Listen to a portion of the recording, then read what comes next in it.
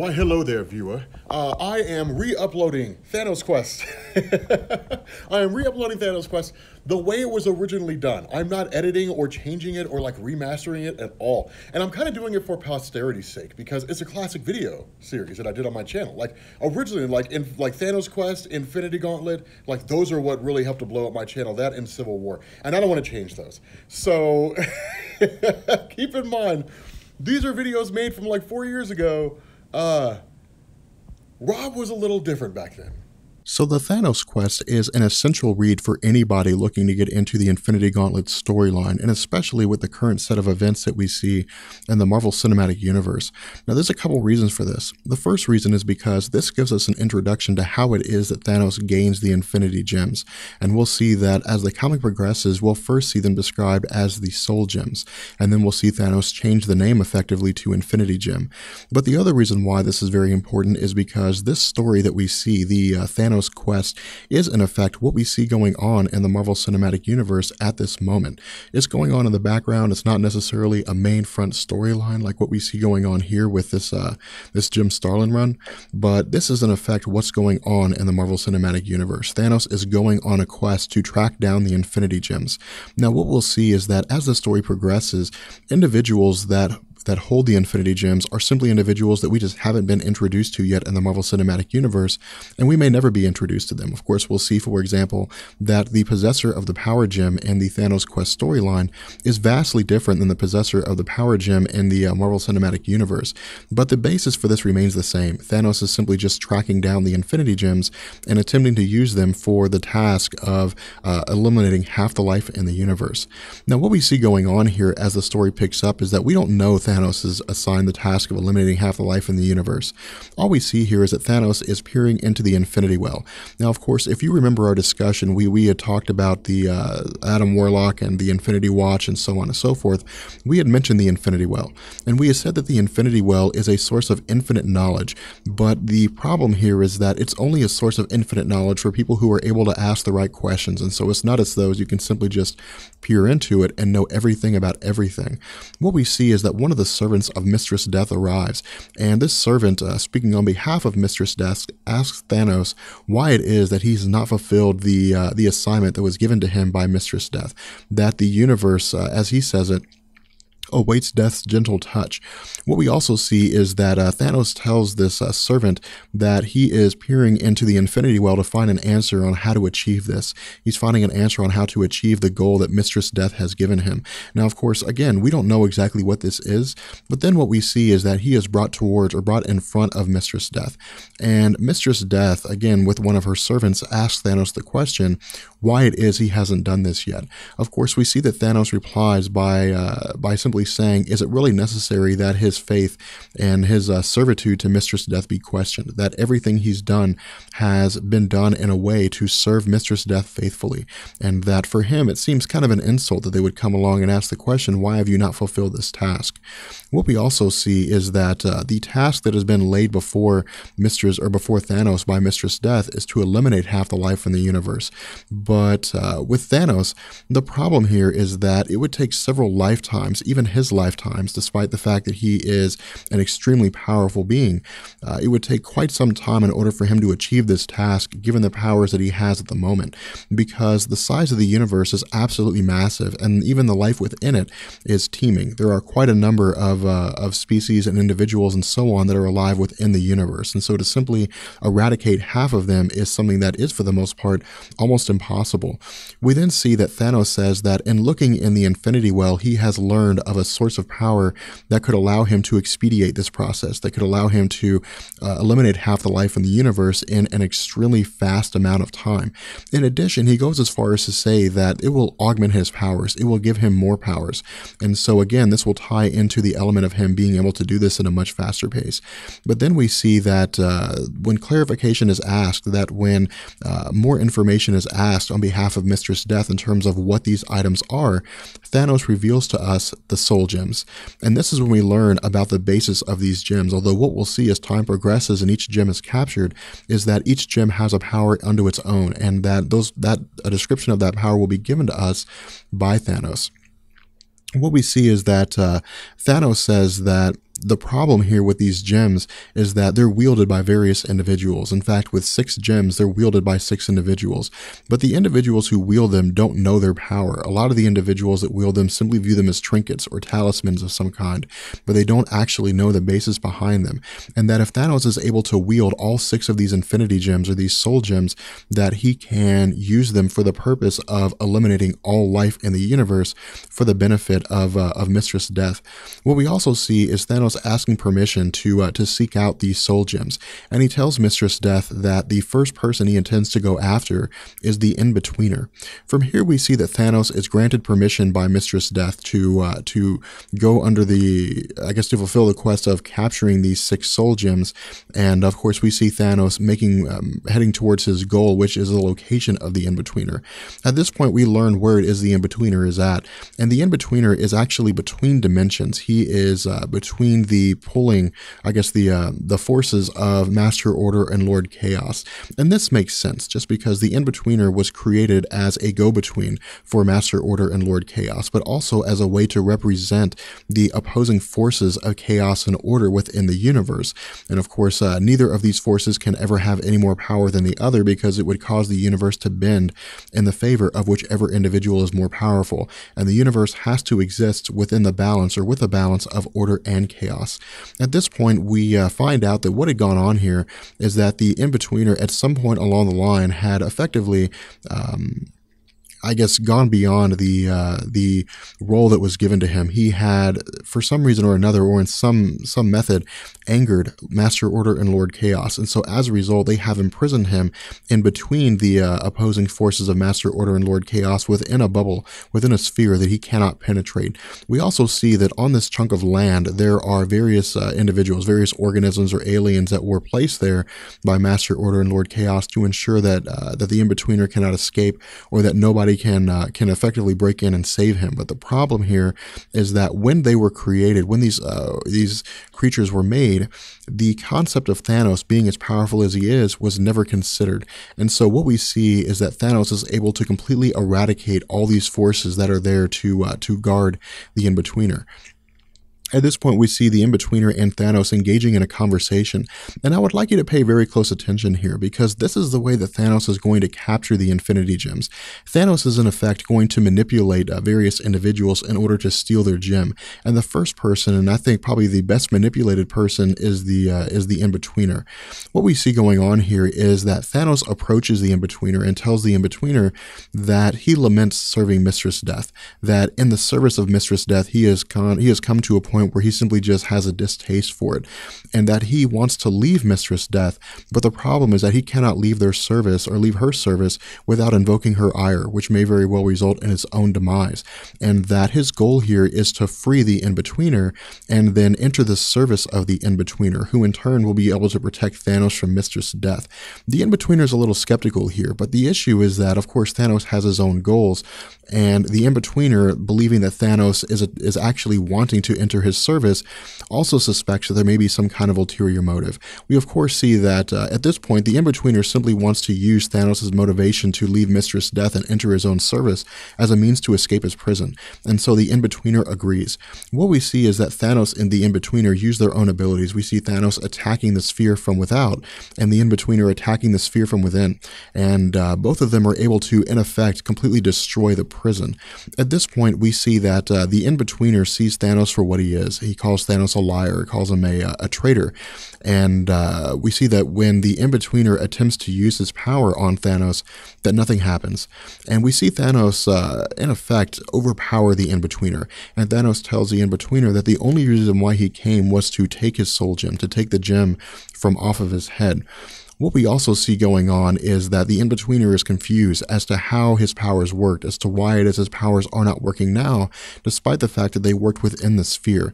We see Thanos explain to the in-betweener that this was done intentionally by Master Order and Lord Chaos as a way for uh, the in-betweener to serve out his term, his uh, most likely eternal imprisonment, without being in such a place where he would be unable to use his powers. This was more or less them just being uh, merciful on him, and that outside outside of uh, any sort of real dimension, outside, or I guess in a place where the opposing forces of uh, order and chaos meet, that his powers are canceled out. And so as a result, he's powerless. And so what we see is that uh, Thanos tells the In-Betweener that he can't be sensed by Master Order and Lord Chaos. And there are a little, there are some reasons behind this, although we're not going to go too far into it. If you are interested in that, of course, uh, you can find that in the video that we did about Thanos proper.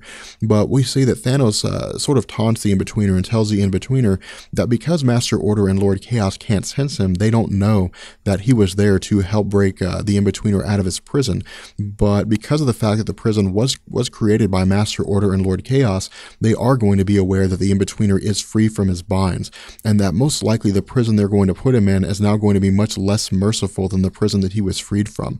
At this point, of course, we see that Master Order and Lord Chaos appear, and while the in-betweener pleads and tells Master Order and Lord Chaos that it wasn't necessarily his fault, that uh, Thanos was the one that freed him, that off panel, or I guess uh, outside of our ability to see, that he's most likely subjected to, to a new form of imprisonment. At this point, we see Thanos uh, begin to sort of uh, focus or to ponder this new infinity gem, the first of the six infinity gems.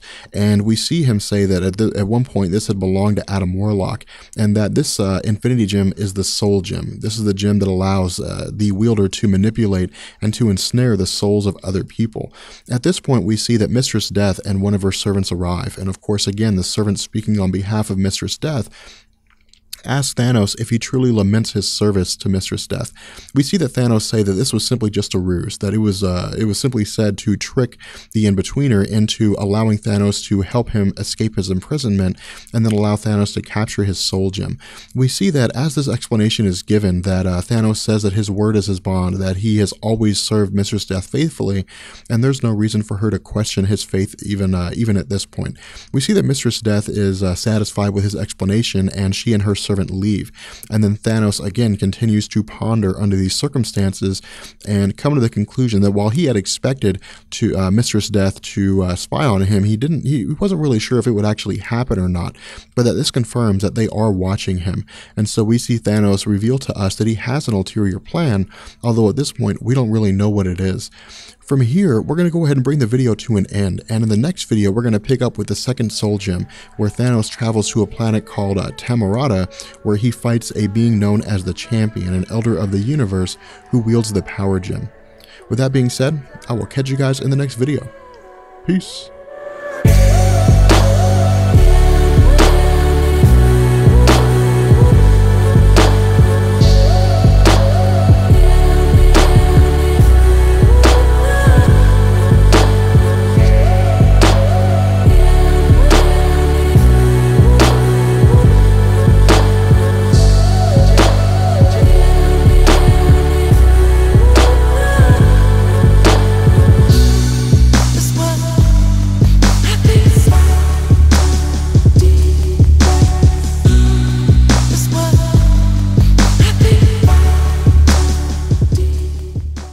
As we continue our discussion on the Infinity Quest, we pick up with the uh, acquisition of the Power Gem at the hands of Thanos against the foe, the champion.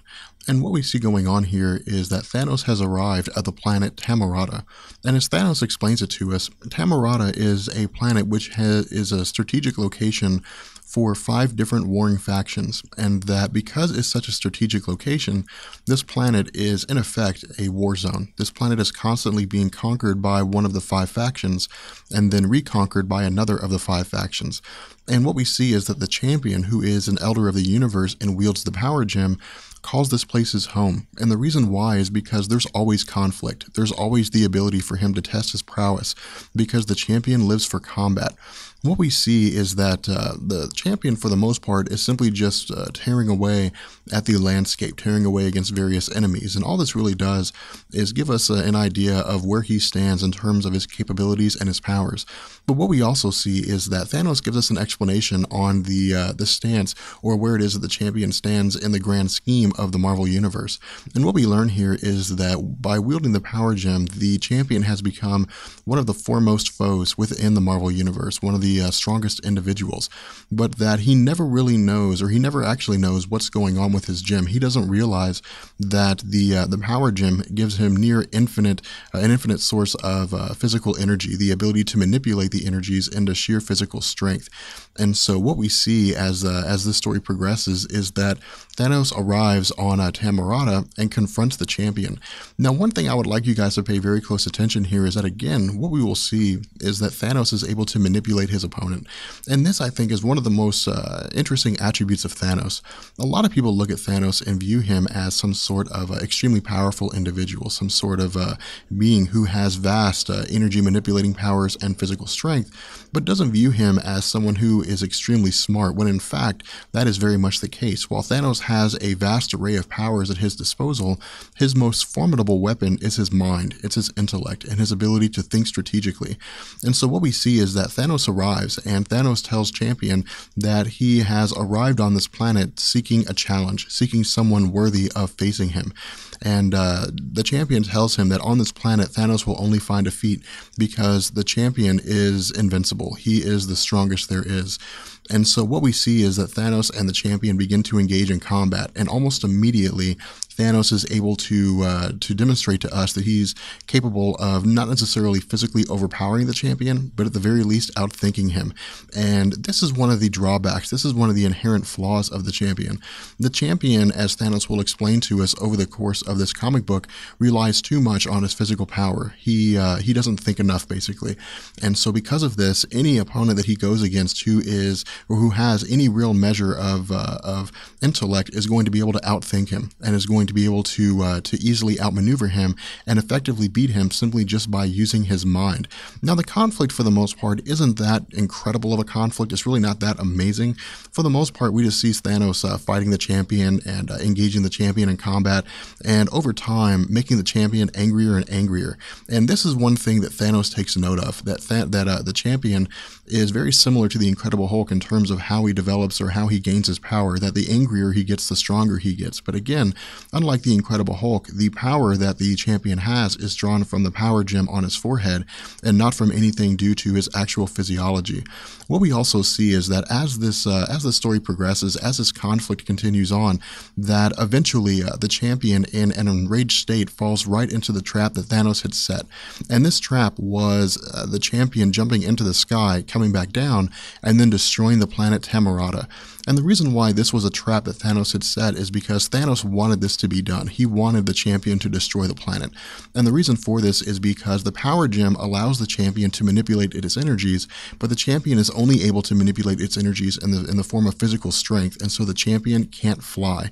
And this is what we see Thanos telling the champion. This is what we see him uh, communicating to him as he begins to taunt him that the problem here is that while the champion is immortal, while he's an elder of the universe and that he can't die, he can't go anywhere. And so he's effectively just floating in endless space forever. We see that Thanos, I'm sorry, that uh, the champion says that he'll battle Thanos for his vessel, and, and uh, Thanos simply says no.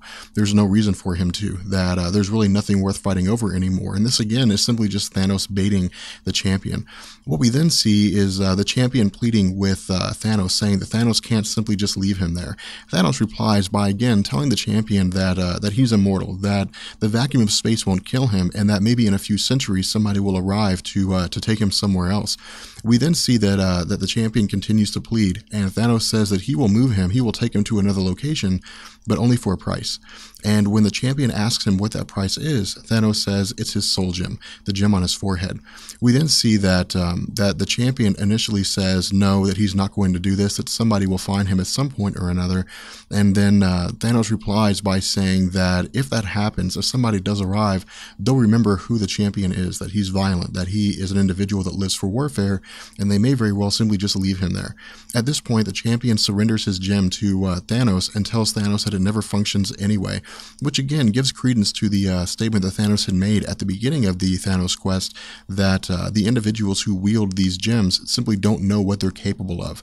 At this point, we see that uh, Thanos locks a tractor beam onto uh, the champion and begins to drag the champion away. And then what we see is that he deposits the champion onto uh, onto another planet.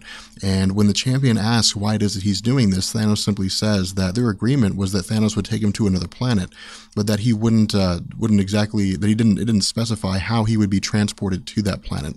At this point, we see Thanos uh, really looking over the gems, looking over the fact that he has gained the Soul Gem, which again allows total control over uh, sentient souls, and the Power Gem, which, uh, as we'll see in the uh, next portion of the comic where we discuss the Gardener, will be the foundation for all of the other gems. At this point, we transition to the Gardener, and again, the Gardener is one of the Elders of the Universe, meaning that he is one of uh, a handful of individuals who are the last uh, remaining members of their race.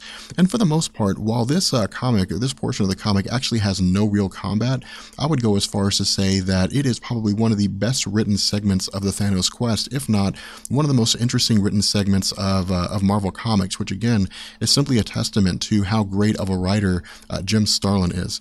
What we see is uh, Thanos discussing, talking to us about how um, the Garden of the Gardener is a beautiful place, how it is a, a gorgeous place. It's a very well developed area, and that. Um, the gardener realizes that Thanos is there to capture his uh, capture his soul gem.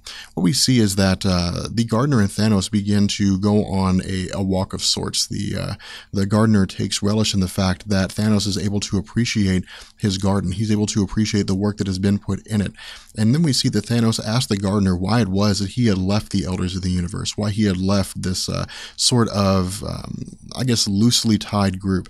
And what we see the gardener saying is that the elders of the universe had sought power. That was their own real motivation. They had simply just sought power. And once they gained power, they want they had a lust for more power.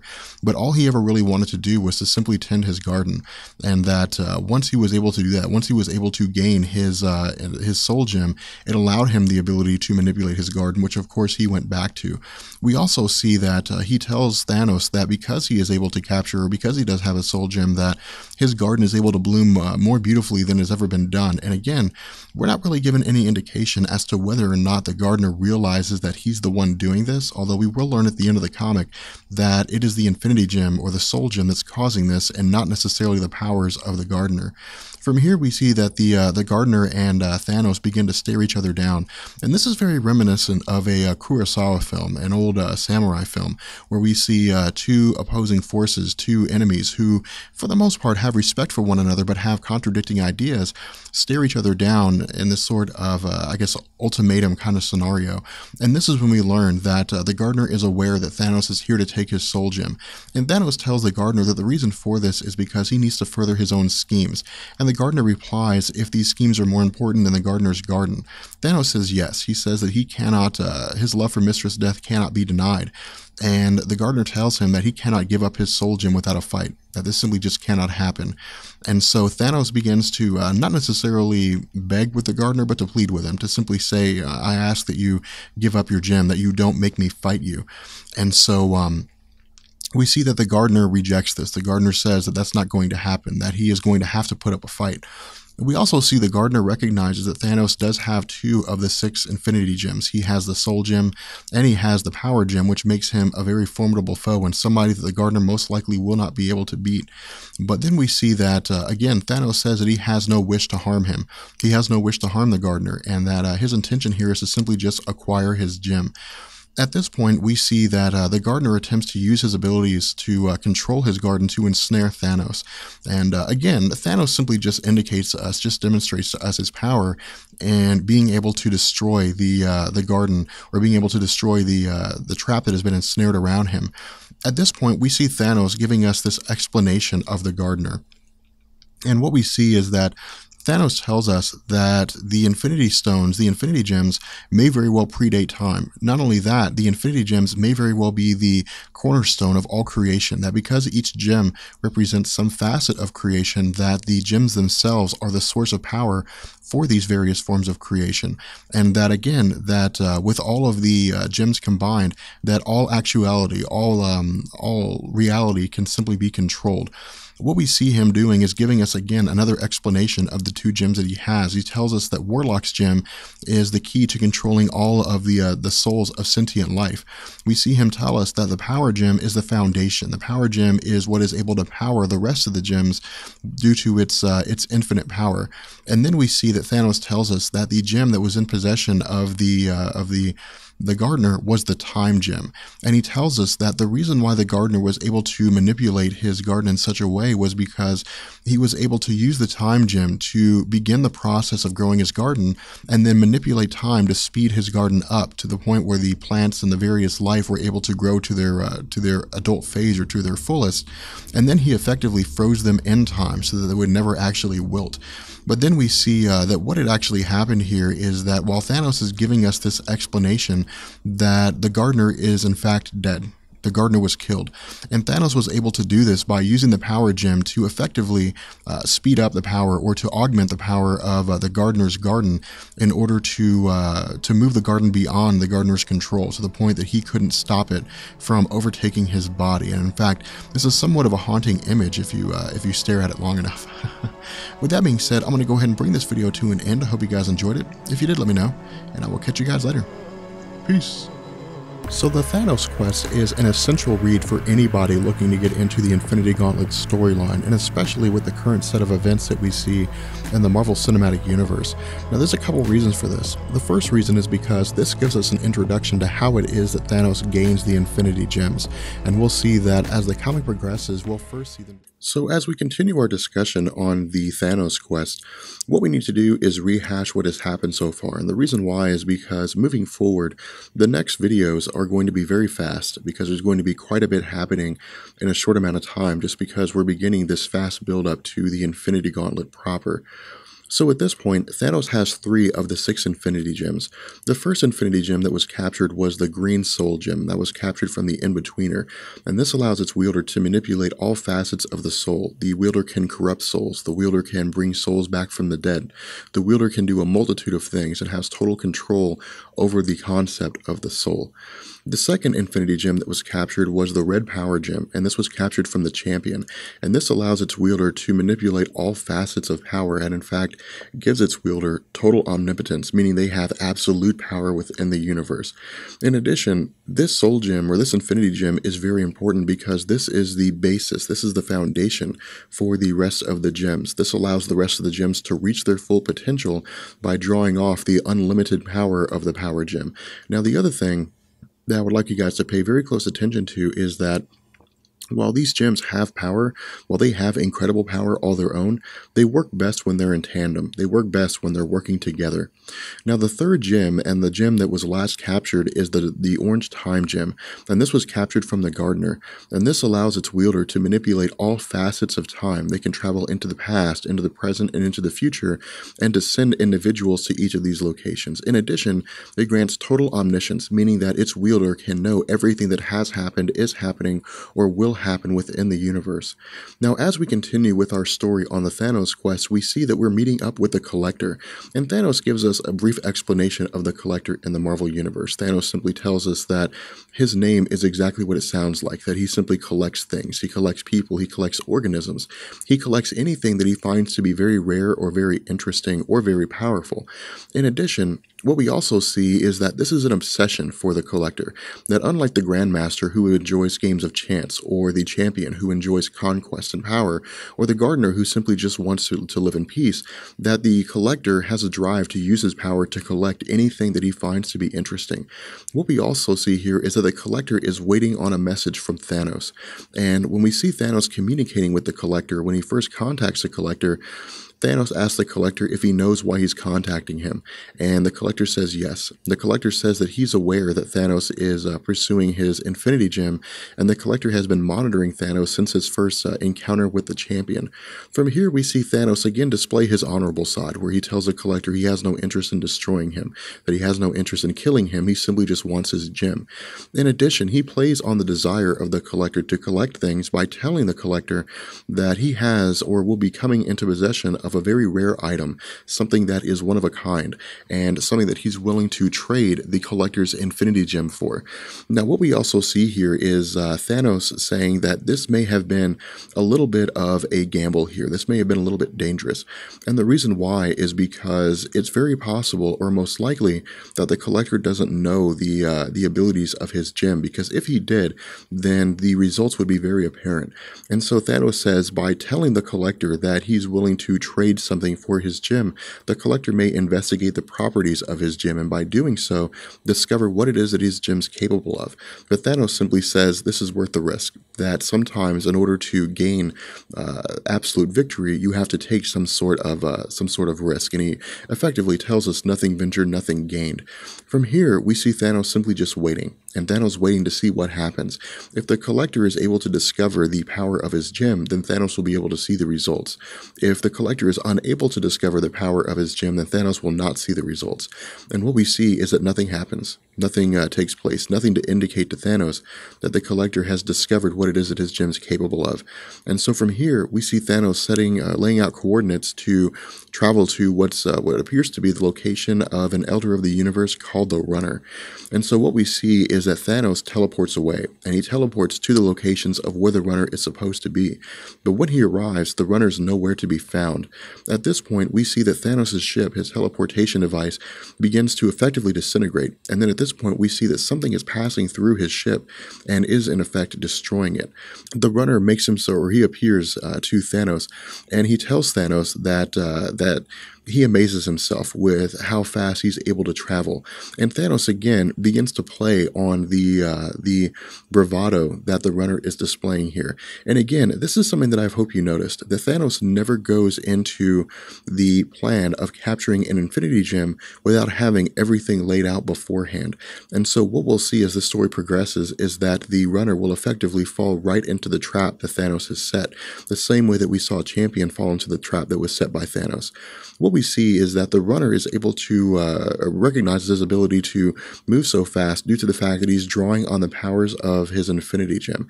Now, he doesn't realize what the Infinity Gem is capable of. He simply just realizes that it does have power because the Grandmaster had warned him that Thanos would be coming for his Infinity Gem. And so, it's somewhere along the line, the runner began investigating its properties. What we see here is that the runner is able to move at incredible speed. He's able to exceed the speed of light, and in fact, he's able to ex- exceed the speed of thought. At this point, we see Thanos questioning this. Thanos asks him, Are you really the, the fastest thing in the universe? And if you are, then prove it. And so we see that the runner is uh, moving incredibly fast, moving so fast, in fact, that he appears to be in multiple places at the same time, speaking simultaneously. From here, we again see that the runner is displaying this vast bravado. He's very arrogant in his abilities, and that uh, he he boasts the fact that Thanos would be able to do nothing to stop him. Thanos is unable to do anything to uh, to keep him from effectively getting away if he chose to. At this point, we see that the runner uh, effectively threatens Thanos. He tells Thanos, either tell me what it is that you're here for, tell me why it is that you're capturing the gems, or I'm going to use my speed to kill you. And so what we see is that Thanos begins to explain the origins of the soul gems, which I think is something that many of you will find very, very interesting. Thanos tells us that the Infinity Gems are something that had been a secret that no one had really known about for billions of years, and that while individuals had possession of the soul gems, they never really knew what they were capable of. Thanos tells us that at one point in time, the Infinity Gems were a single entity, they were a single being that had limitless power, and that this being was the only thing in the universe. And that the problem is that because it was the only thing, because it had power, because it had uh, emotion, because it had sentience, that it recognized that there was really nothing for it there was really nothing for it to do. There was no purpose in its life. And so it had an effect, simply just existed forever. It existed alone. And so it felt this extreme amount of loneliness. And so as a result, it self destructed. It effectively killed itself. And when it did, it dispersed itself among the six infinity gems that were spread throughout the universe. And so once these gems are brought together, Thanos is going to be able to utilize them to effectively make himself an equal to Mistress Death and to sit next to Mistress Death as her mate in uh, so to speak. And so what we see is that uh, the runner begins to boast. The runner says that his he, that he's effectively going to kill Thanos, and that the secrets of the Infinity Gems are his alone. No one else will know what the gems are capable of. Thanos tells the runner that he's a fool. That the only option that had been given to him by the Grand Master was to run, and that he should have listened to the Grand Master because the Grand Master is probably the wisest and most likely the most powerful of all the elders of the universe, and that running was the only thing that could have saved uh, the runner from Thanos. At this point, we see that Thanos again begins to taunt the runner and says that the runner, instead of listening to uh, to the Grandmaster, chose to boast. He chose to be arrogant, and so instead of uh, taking the intelligent route, instead of running, that he simply stayed. And so Thanos tells the runner that not all weapons that exist are massive. Not all weapons are uh, huge. That some of the most dangerous weapons are some of the smallest things that appear to be harmless. And so what we see is that Thanos explains to the runner that he was, in effect, manipulating space, that he wasn't uh, running at super speed, that he was more or less creating wormholes that he would subconsciously desire to be somewhere. And before his conscious mind caught up to it, he would be there, which was in effect manipulating space itself, at which point we learned that the runner is in possession of the space gem. From here, we see that what Thanos had done here as he was conversing with the runner was manipulate time and that he had in effect aged the runner by a million years. And by doing so put the runner in such a position to where he was simply just feeble. There was nothing he could do to escape thanos. And so thanos takes his soul gem away. And again what we see thanos do is manipulate time once more which brings us into the second part of thanos' plan. The rare item that thanos had intended to barter with the collector was the runner himself. And so we see thanos convert the runner into a child into a baby. And from here we see thanos tell the runner that he's going to take him to visit the collector.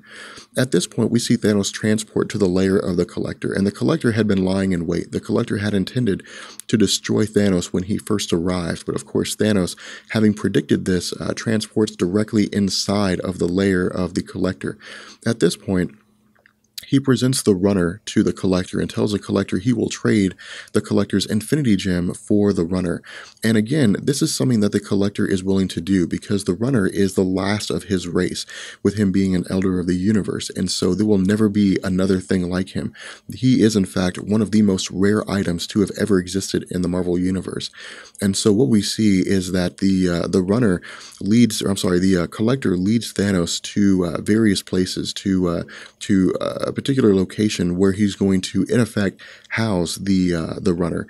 And what we see is that Thanos hands the runner over to the collector, and in turn, the collector hands his Infinity Gem over to Thanos. And so what we see is that as Thanos takes the Infinity Gem and begins to walk away, Thanos tells uh, the collector that the control, I'm sorry, that the infinity gem that the collector had was the reality gem. It was the ability to manipulate all facets of reality. But because the collector had never used the gem, he had simply kept it stored, he never drew on its power. It had simply just been there. But the fact that the collector had that kind of power in his possession is something that the collector laments. The fact that he had just never quite realized it. At this point, we see Thanos demonstrating the power of the reality gem and begins warping the fabric of all reality with within the layer of the collector.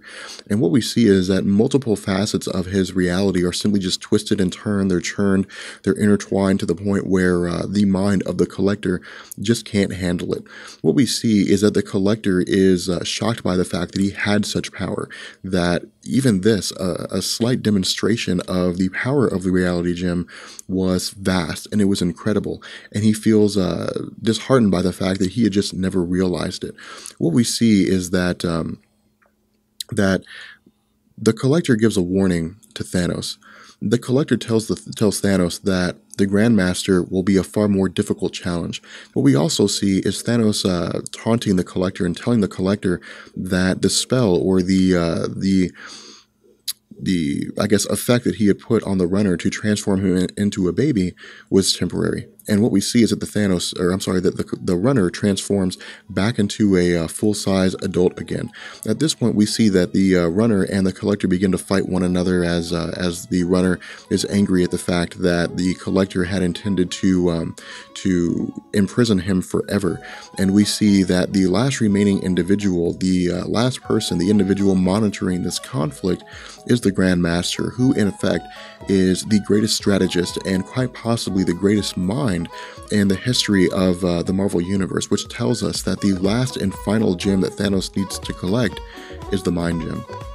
With that being said, I'm going to go ahead and bring this video to an end, and what we'll do when we pick up in the next video is we will pick up with the conflict between Thanos and the Grand Master over a game that's been created to capture the Mind Gem, and we'll also see the fallout. We'll see the ramifications of what happens as Thanos captures all of the gems creates the Infinity Gauntlet, and ultimately the lead up to the Infinity Gauntlet storyline.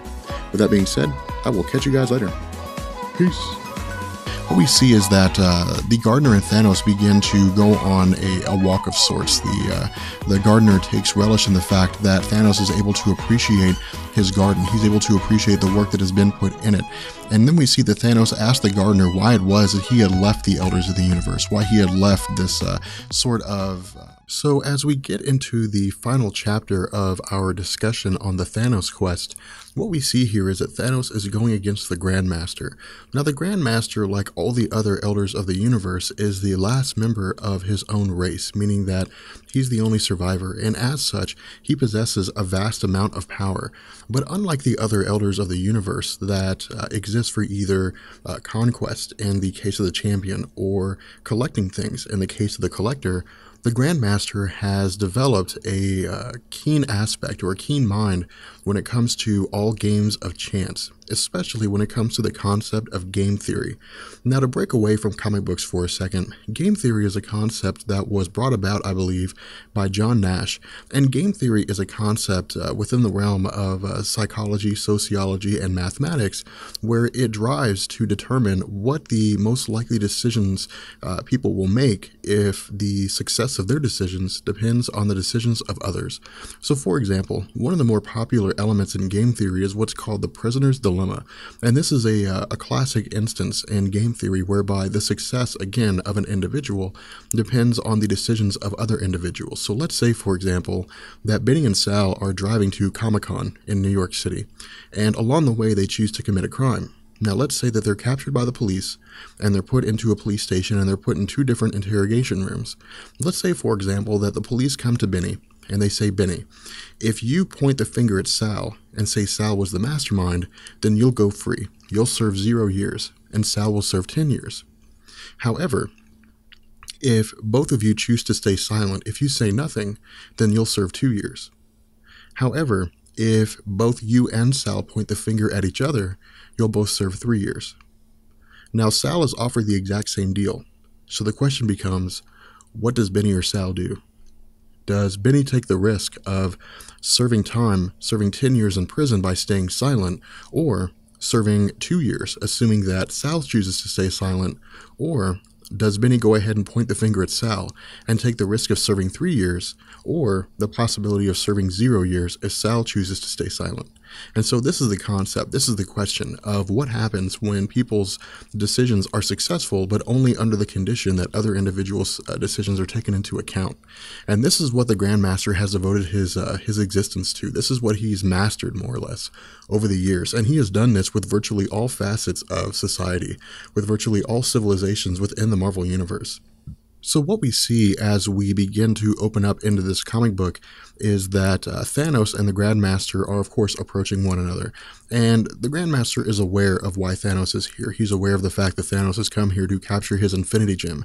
In addition, we also see the uh, Grandmaster asking Thanos why it is, or uh, if Thanos is interested in the uh, the design of this particular game, or what it is that he has to do in order to gain the Grandmaster's Infinity Gem. Thanos says that he doesn't really care, but that most likely the Grandmaster is going to explain it anyway, which he does. The Grandmaster tells us that the Infinity Gem that he holds is housed within a pan-dimensional transporter, meaning that it is able to transport between dimensions. In addition, he tells us that there are several layers of force fields that are uh, designed to keep the uh, the device from being tampered with. In addition, what we see the Grandmaster saying is that in the event that the uh, the shields are breached, any one of the shields are breached, that the uh, pan-dimensional transporter will immediately engage and it'll begin transporting to various unknown locations. And it is designed to do this endlessly. And so Thanos will never be able to locate where this Infinity Gem is. What we also see is that uh, Thanos will not be able to trace this Infinity Gem because of the fact that the pan-dimensional transporter itself will self-destruct. And so again, there'll be no way for Thanos to locate this. What we also see is that um, in, in the event that the Grandmaster's life signs come to an end, uh, in the event that he is killed, that the, uh, again, the device will begin to transport, the, the device will begin to teleport to uh, various locations.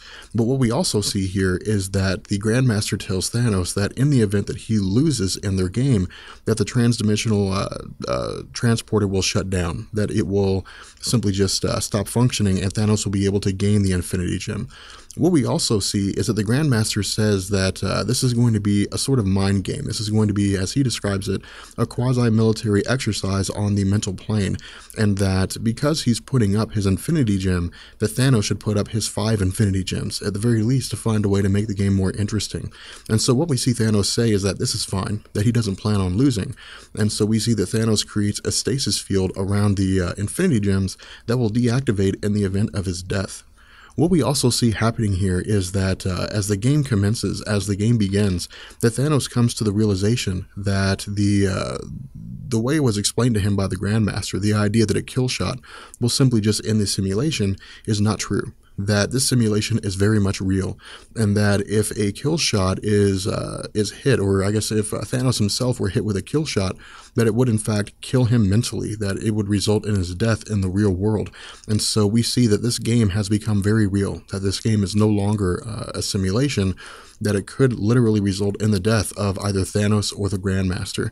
And so what we see as things progress is Thanos explains to us with a, uh, a sort of mental discussion that he's done this thousands and thousands of times, that he's very used to playing in these uh, high stakes games. And for the most part, he's trying to match wits with the Grandmaster, which for the most part he seems to be able to do quite readily. But what we see as uh, the comic or as the story continues is that Thanos is able to blow a hole in one of the uh, obelisks and hides inside of it. And as the Grandmaster comes looking for him, the Grandmaster fails to realize that Thanos is hiding inside of it. And so what we see is that the Grandmaster turns around to realize that Thanos has him on guard, that Thanos is in effect going to kill him.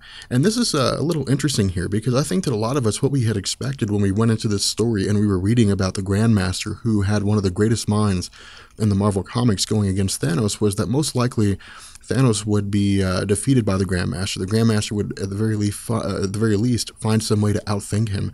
But what we see here is that Thanos is, as we presume, able to defeat him, and Thanos file, uh, fires the killing blow. But what we see as the smoke clears is that the Grandmaster is alive and well. The Grandmaster is not dead, and the Grandmaster gives us an explanation. He tells us that, in effect, he cheated that he sabotaged Thanos' suit because the stakes were simply just too high for him to uh, to do anything less. But what we also see here is that the whole reason why the Grandmaster did this, in addition to the stakes being so high, is because he's begun to learn the true potential of the Infinity Gems, and this is the reason why he did not step in when Thanos was pursuing the other Elders of the universe, when he was killing them off one by one and taking their gems. He wanted Thanos to uh, defeat each of the Elders and then bring the gems to him, so that he could in turn defeat Thanos and capture all the gems for himself. What we see is that Thanos is encased in this kind of silicon uh, material, and the uh, the Grandmaster tells him that it should be permeating throughout the entire body of Thanos. It should, in effect, um, be become part of Thanos, so that when he pushes him over, that Thanos dies. But what we see is that once Thanos is pushed over, that it's revealed to us that Thanos was a machine that this was not, in fact, the real Thanos. And this is the one element, the the one cog in the wheel that the uh, the Grandmaster did not think of. And so what we see is that Thanos destroys the uh, device that the Grandmaster had been using to exist on this mental plane. And so the Grandmaster is now stuck inside of his own mind. He's unable to escape. And so what we see here is that Thanos, uh, due to the fact that the game more or less uh, interprets this as the Grandmaster being defeated, is able to gain the last Infinity Gem. Now, what we see after Thanos is able to gain the last Infinity Gem is that he begins to celebrate. He begins to relish in the fact that he has absolute power within the universe, that he is virtually unchallenged by anybody within this reality. But it's very important that we distinguish this from the fact that Thanos is all powerful or godly powerful, because Thanos' ability to manipulate reality, his power within the Marvel Universe, is confined to this reality. This is something that we will actually see play out during the uh, Than- or the, during the uh, Infinity Gauntlet storyline proper, and when we see Infinity and other um, uh, other cosmic entities, along with Eternity and whatnot, appealing to the Living Tribunal to uh, bring an end to Thanos' reign.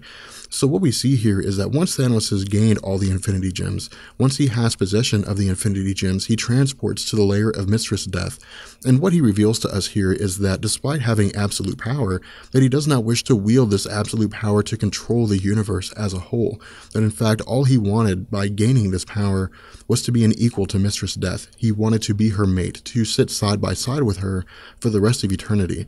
But what we see here is that, uh, in fact, Mistress Death doesn't view Thanos as an equal any longer. She doesn't view Thanos as somebody who is uh, by her side. Instead, as her uh, as as one of her minions, as Thanos calls it, uh, relates to him, that Thanos is above her, that Thanos is many stations above her, and we learn this because Thanos doesn't understand why Mistress Death will not address him directly. He doesn't understand why she will not talk to him using her own mouth. Instead, she continues to communicate through her minions. And again, what her minions tell us is that because he is her superior, because he is many stations above her, that it would be uh, it would be out of place for her to speak to him directly that in effect she should have somebody interpret for her just because he is so powerful. It's really more of an instance of uh, somebody attempting to address somebody who is above their class, above their station. And so what we see is that Thanos uh, becomes outraged. Thanos lashes out and he destroys the one of the minions of Mistress Death. And this again gives us an explanation. This is the lead up to why Thanos launches the Infinity Gauntlet storyline. Because what we see is that after all the efforts that Thanos had gone through, after all his attempts to gain the affections of Mistress Death, and all the power that he had gained, the one thing he could not do is to make Mistress Death love him. He could force her to talk to him, he could force her to speak directly to him, but in the end, she would not be doing it of her own accord. And so this is when we see the Infinity Gauntlet storyline launching. This is when we see Thanos going to great lengths to demonstrate his love for Mistress Death, albeit in a perverse way, by killing half the life in the universe. With that being said, we're going to go ahead and bring this video to an end. I hope you guys enjoyed it. And again, this is a build up. And I think that what you guys will see with the Infinity Gauntlet storyline is a very rich and very detailed story as we see multiple superheroes, despite the fact that they are entirely outclassed, doing everything they can to attempt to, attempt to, to stop the power of Thanos. With that being said, I will catch you guys later. Peace. Thanos tells us that at one point in time, the Infinity Gems were a single entity, they were a single being that had limitless power, and that this being was the only thing in the universe. And that the problem is that because it was the only thing, because it had power, because it had uh, emotion, because it had sentience, that it recognized that there was really nothing for it. There was really nothing for it to do. There was no purpose in its life. And so it had an effect, simply just existed forever. It existed alone.